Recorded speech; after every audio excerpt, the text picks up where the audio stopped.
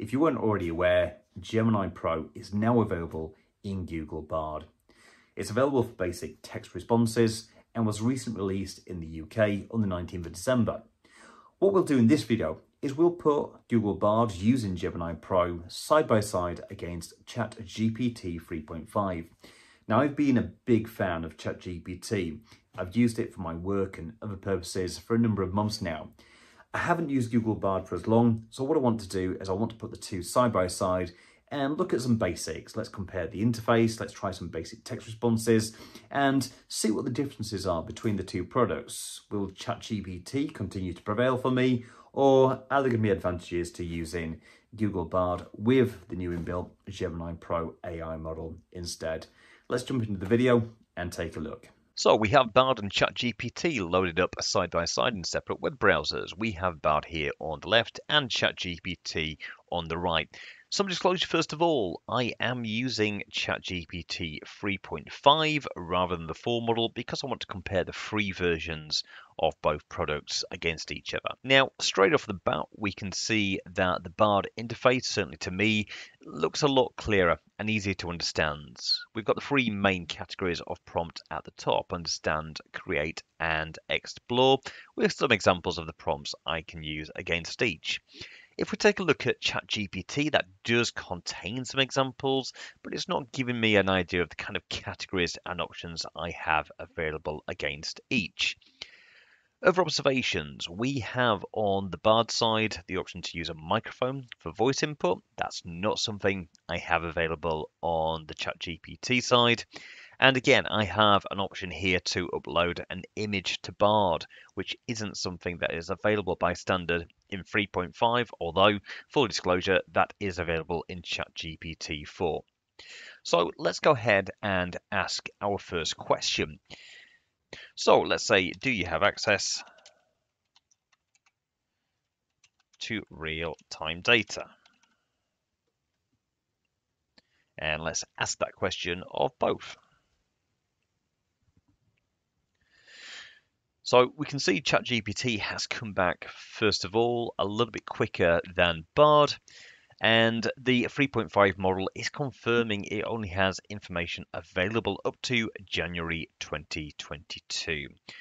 Bard, on the other hand, as standard, has access to real-time data across a number of categories such as news, financial data, weather, and even flight information. Now, one of the things that I like here with Bard is I have the option here to view other drafts. So it's giving me different draft options, which I can flick through or even refresh for a completely different response altogether. When the response does come back, you can see I have the option to skip the response, which stops it dead in its tracks. Let me just regenerate that so we can take it to the end. And then the final option I have available in Bard that isn't available in ChatGPT is also to play the response back audibly. So I can hear the response as well as see it, which is a nice feature. One of the things I want to point out at this stage as well is what I can do once a response has been provided. So we can see that on both models, I have the thumbs up or thumbs down to indicate whether I thought that was a good or bad response. I've got the option to here modify the response in Bard. This is a really useful feature. So one of the common things I used to find when using ChatGPT is I would need to tell ChatGPT through the chat whether I wanted the response uh, to be more detailed, whether I wanted a more succinct response, or whether I needed to change the tone of the response. What Bard does by buttons is allowing me to select one of those modifications in a single click, where that isn't something that I can do in Chat GPT. Moving on, we also have the option in Bard Let's to say share I'm on a and keto diet export the response. Now, the options I get here is to click on and share, which will I would create like a link breakfast recommendation. publicly. So I'm on a keto diet. Can you provide a breakfast we also have the option to export the response to Google Docs or create a draft email in And Gmail. Now, there is is an export option that allows me to create a link in Chat GPT, but I'm not getting the easy export options that I'm getting in Bard, so I can put that into a document or an email. However, what I can do is I can select to copy the response by clicking on the copy button there, and I can paste that into whichever medium I choose. Okay, so let's ask something a little bit more detailed now. And I'm on a keto diet, so I want both of these chat models to make a recommendation to me.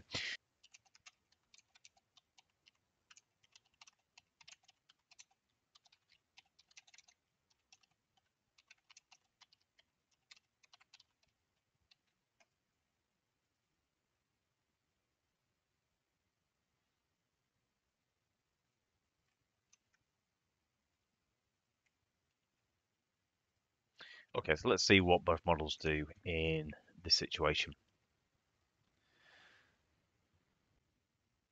Okay, so let's take a look at Bard first of all.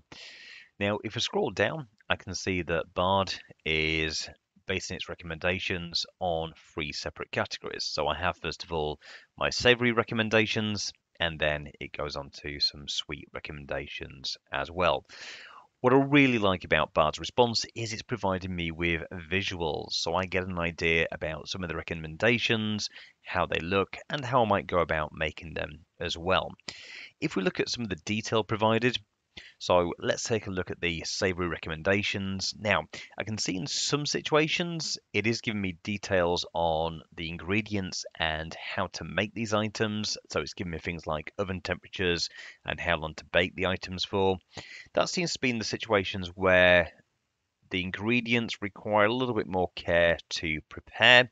It's not doing that for everything in the other recommendations, it's just given me a high level overview of what each recommendation contains and, in general terms, how to go about cooking that without the detail. So, this seems to be what I would say a fairly comprehensive response. It's given me plenty of options, plenty of ideas, and allowing me to visualize those at the same time. And I even get a bonus tip from Bard as well. So if I'm on the move, it's giving me some ideas about the kind of foods I can take with me. 3.5, so ChatGPT is going straight into the detail. It makes a single recommendation. It's providing me details of the ingredients and instructions, but that's pretty much it. It's not giving me various options to play with.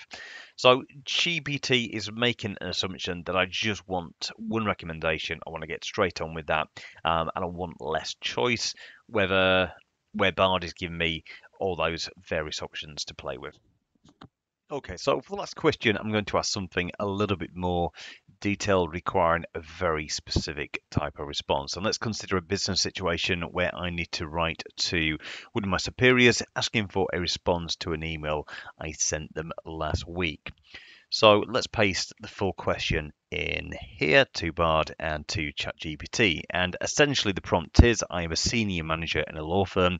Please write an email to one of the directors asking them to respond to the email about a meeting I sent them last week. The tone must be polite and professional, but firm. So let's go ahead and see what both Bard and GPT come back with. And again, straight off the bat, I do find that GPT is a little bit quicker at coming back with a response and then followed closely by Bard. So what I've noticed with the Bard response is it's leaving placeholders to add additional detail to the email, where ChatGPT is excluding any detail from the email because I've simply not provided that level of detail. Now, if I'm busy and need a really quick response I can use, I guess the ChatGPT one requires less thought where the Bard response will be much more specific to the situation at hand and is probably going to have more impact because of that. So I guess this is a balance of time versus the impact I want the email to have on the recipient. Um, but I think in terms of the actual content, both emails seem to be fairly well worded and they also sign off in similar ways. I do get a slightly warmer, more casual sign off with ChatGPT, ending that warm regards, where the bard response ending something sincerely sounds very, very abrupt. And I, I, I, have never and would never finish an email just by saying sincerely. So I think both have their pros and cons, and I do get some additional tips from Bard as well about the way I may want to structure and word my email. So this is really how did the two compare?